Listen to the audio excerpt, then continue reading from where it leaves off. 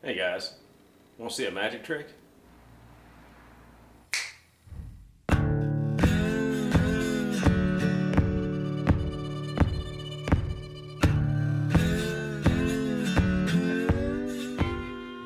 Hey folks, welcome back to the channel. Thanks for tuning in.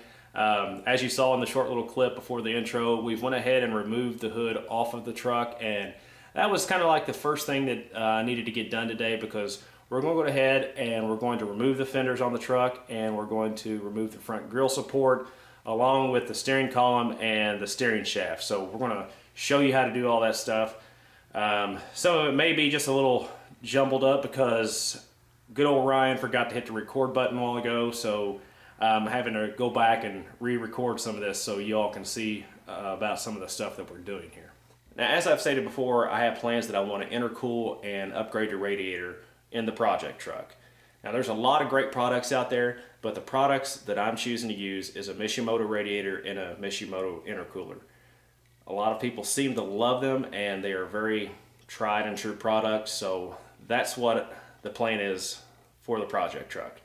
However, I have run into a snag there. As I was taking apart some of the truck, I went to measure the front grill support and noticed that the measurements don't align with the measurements of the radiator. So I'm going to take you through that and show you what I found out.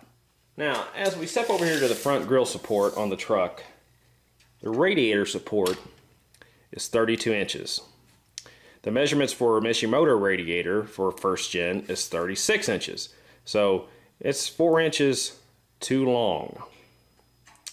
Even if you split the difference, you know, we're looking at two inches on each side of the radiator support there. So that whole uh, bracket right here would have to be basically taken out in order to make the radiator fit. Now also to give you guys a idea of some of the dimensions on this radiator, it's 23 inches tall.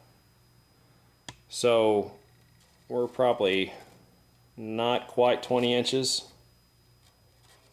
So it's going to be a little over 3 inches higher than your front grill support and also it's six inches deep. So that is almost going to put you, it's right there with the fan. So as you can see, the Mishimoto radiator is not going to work for the first gen, at least not the way it is right now. Uh, I did a little research on intercooling first gen Cummins, and most of the stuff that I found out there is for intercooling like a 92 and later truck, I mean, those trucks were already intercooled from the factory. So I am not quite so sure if the grill support is different. Uh, I'm assuming it almost have to be because they make the drop-in applications for 92 and later trucks and they're not meant to put in this 89. The only option that I see available is to get a front grill support from a 92 or later truck. That way you know, I can get the radiator and we can just drop it in instead of trying to fabricate something up here and weakening the support itself. And like I said, I am not quite sure on the dimensions of a front grill support on a 92 or later truck. It may be a little thinner. Uh, I really don't know. But also looking at the support, drilling holes in it to do the piping is also going to be challenging. Uh, I'll kind of show you here what I'm talking about. As you can see here, the bracing for your front grill support is almost kind of like C-channel. I'm not really even sure what to call that, but you know, your intercooling piping is going to be coming in right around this area somewhere. So this, this is going to be in the way. That could possibly be trimmed down, but again, you know, the radiator support here is not going to allow a bigger radiator. That may be able to be repositioned, but I think the best bet would just to be to get a new front grill support altogether for off of a 92 or later. So with all that out of the way, let's get some work done.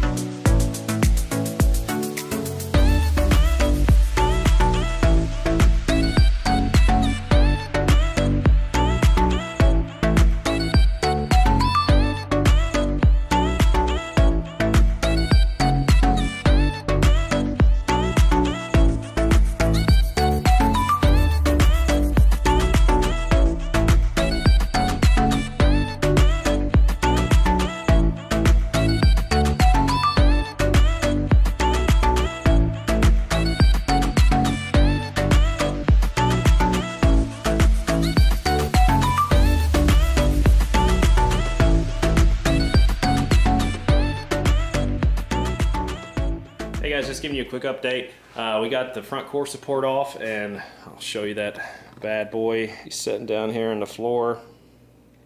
It wasn't too terribly hard to remove. You just got some uh, bolts up underneath the frame, little small ones.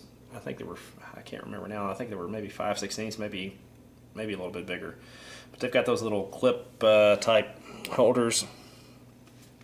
Highly recommend you soak those down in penetrating oil. I had to get the Sawzall out a couple times on those.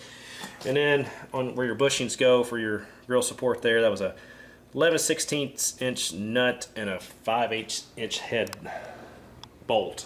At least that's what it was on my truck.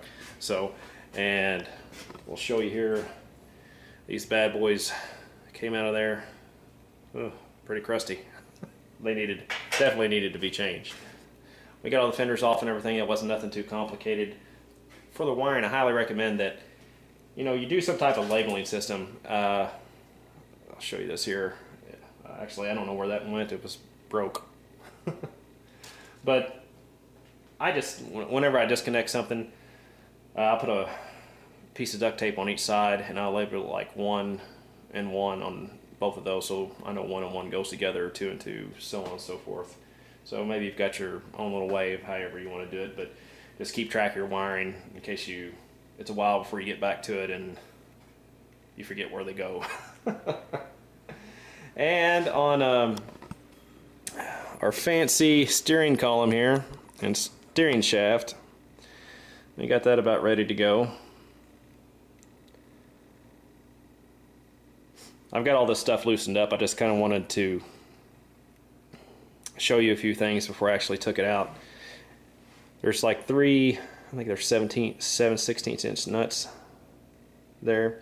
Make sure you don't loosen those up until you get your steering shaft loosened up. This here was pretty, as you saw, I had the cheater pipe out trying to get those loosened up. And I'm not sure what those Torx head maybe is what they're called. I've got one here. I'll kind of show you. I used a 3 8 inch uh, 12 point socket and it worked. And that's a 10 millimeter down here. So once you uh, get the shaft off, you can loosen up your steering column and pull it on out.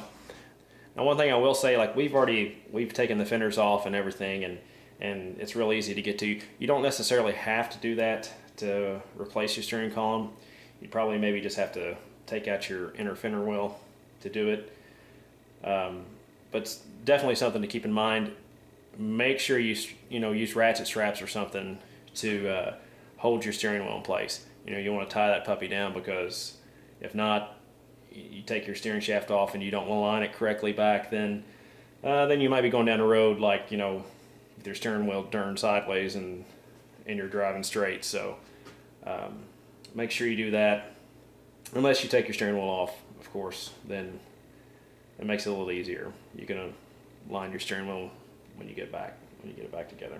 Now, getting the slave cylinder out wasn't too hard. Um, let's see if I can. You've got like four bolts back up underneath here that you have to remove. Now, I couldn't uh, figure out how to turn it to get it out. That's just a rubber grommet in there I put back in there so I wouldn't lose it. So I ended up disconnecting it at the slave cylinder down under clutch. Uh, part of the reason I did that is I broke, trying to take the hose off the reservoir, I broke it, so I'm going to have to replace it anyway. So I just cut the line down there and that's where that's at.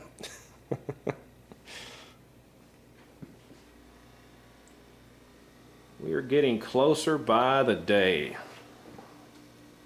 Heck yeah. Hey guys, that's going to wrap up the nice video. I hope you found it useful and helpful if you're removing your steering shaft and uh, your steering column and such. So with that being said, we're getting ever so close to getting everything disconnected so we can get the cab off of here and start to put the floor pans in and address the rest issues underneath the cab and on the frame. So I think the only thing that we have left to do is just disconnect the brake booster. So if you you know, if you're wondering how to do that, stay tuned. There's going to be a video on that. I'm going to walk you through the steps on how to take your brake booster off and disconnect your brakes and such. So, and as always, I appreciate you guys watching. Please hit that like and subscribe button, and we will see you soon. Have a good night.